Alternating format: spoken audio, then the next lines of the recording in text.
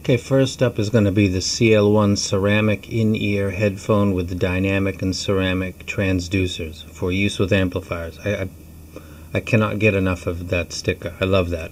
Um, I'm a power user, as everybody knows, so we're going to see about that. Um, Christmas going on, so that's in the background. Uh, CL dynamic transducer unprecedented control and accuracy for bass and mid-range frequencies below 8 hertz. I'm going to find out about that.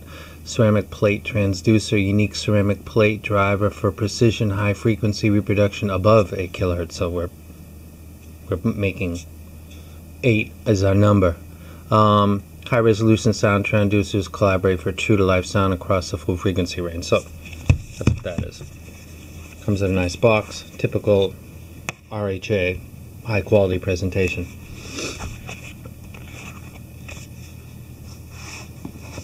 And like the amp, it's got a it's like etched in. So I now I know how to this box because bam, got it. Okay, open up the box, uh, and you've got a giant. I've never opened this before, so this came with stuff from China pollen or something. Um, that's a that's a that's cool and unique. Uh, it's a giant area and it's just got two little makes them look really small. Um, so stick my finger in here. Take this out.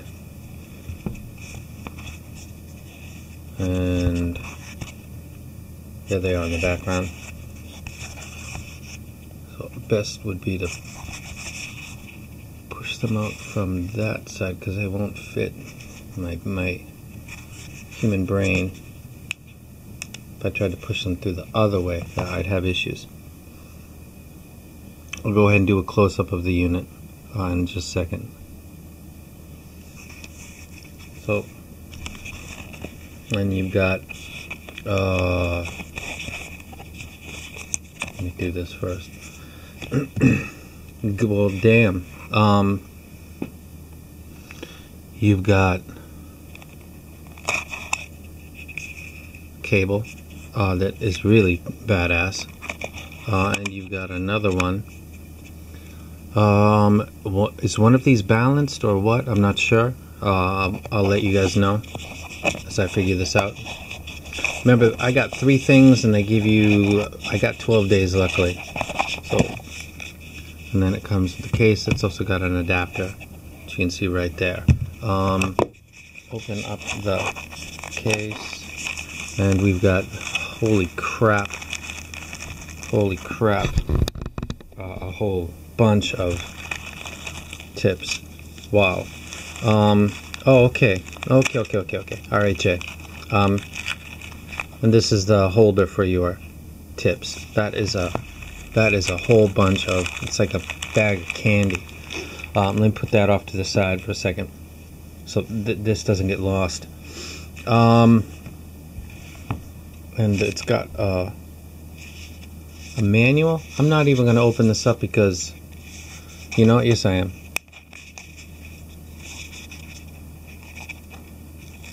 I thought that's kind of, what do I need that for? Well, I don't even know what the hell those cables. Is that just two different color cables? They claim it's got different sounds. I'm going to go ahead and cut this out for now and then read this a little bit and then I'll be back. Okay. Let's start out in the super close-up. As you can see right there next to the R on RHA, there is a, looks like a ventilation port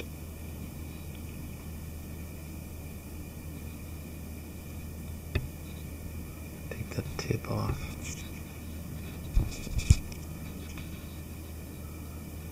That would be the nozzle. Don't know if this could be changed uh, at a later date. I don't want to mess up my zoom right now. That okay, that's a L marking. This is the nozzle. This is the MMCX connector. And then you've got the the ventilation right there. This is really quite small too. So I'm, I'm losing focus. Let me see if I can. No. Okay.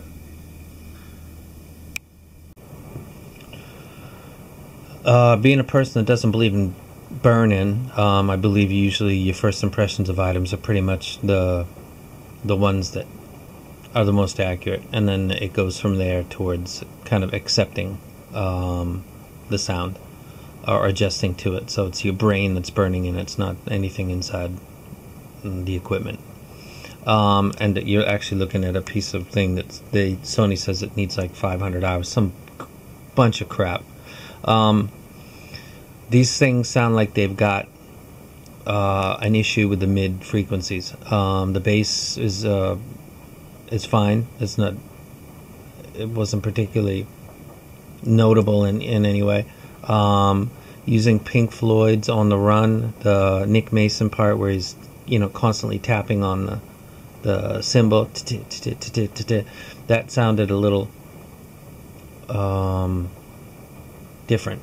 Um, reference going back and forth was the Sony EX1000s in balance mode. Now, why not do this balance? Because I'd be switching to another DAC, and, and it would make a different sound. So this is the, what I usually listen to as my rig, and uh, those are the IM I usually listen to with that rig. Uh, so that would be my baseline. Compared to those, these have a slightly uh, recessed mid section. The bass is bass is fine, uh, and the treble uh, is unique. Um, and I don't mean that in a bad way. I just mean it's different than I'm used to. Uh, these are these are retail for I think 450 to 500. I think it's 450. Uh, that would be in Japan probably at about 100 bucks or 80 bucks because it's an import. Um, is it worth it? I I advise that you get a chance and uh, listen to these if you can. Um, in the price range of that, you really uh, you really ought to trust your own ears. These are not Basshead, obviously. Um, I don't think they're audiophile either. I think the EX1000s are audiophile, and compared to them, these are not. I don't think that that's what they were aiming for. You know, the multiple tip selection, the ear hook, the this is like a do it all uh, IM setting. Um, the the the extras like the quality of the cable. It comes also with a balance cable. Um, that'll work uh, with the, their own unit and other units. Um, it's an outstanding accessory pack. You're not going to be in wanting or needing uh, anything uh, with these. Fit is excellent. Um, isolation is excellent for me. Um, stage is is okay. Uh, mids are a huge thing for me, um, and if these are having an issue with it, or you know, I will mention these again in the other review when I put these in balance mode with the RHA amp DAC. Maybe there's uh, something there between the PHA3 and this. That there's something not clicking. So keep that in mind. Um, sources do make a difference. That that's the way it is. Um, people got sonic preferences. This this doesn't fit mine. I, I know that the amp DAC does because I've already been playing with that one. Um, so when I combine this and that, as they were both sent to me, um, I will re-mention these in that other video and give a a final opinion. You know, I was I'm not changing what I said, or I'm going to say, you know what, uh, with this unit and in balance mode, did these actually sound, you know, whatever conclusion I come to. So I will revisit these because I have a chance in another video. Uh, as it stands right now, coming out of a Sony PHA3 listening to America, uh, acoustic guitar and vocals, uh, Pink Floyd panning left and right, uh, and treble detail, um, and uh, Tupac for bass uh, and detail. Um, that this, that these have a mids issue for their price range. Uh, for any price range, to be honest with you, but um, so you know, do I wreck them? I'm, I'm I, I that you go have a listen to these, and I'll, I'll also mention that I'm and like I'm going to do from now on. Uh, RHA is a very interactive company, and if you have issues or problems, they will uh, communicate with you. That's not an automatic thing. There's a lot of companies that Uh, they're they're very very poor at interacting. I'm having an issue right now with a company that I bought multiple things from. My Cash. They do a world tour, um, and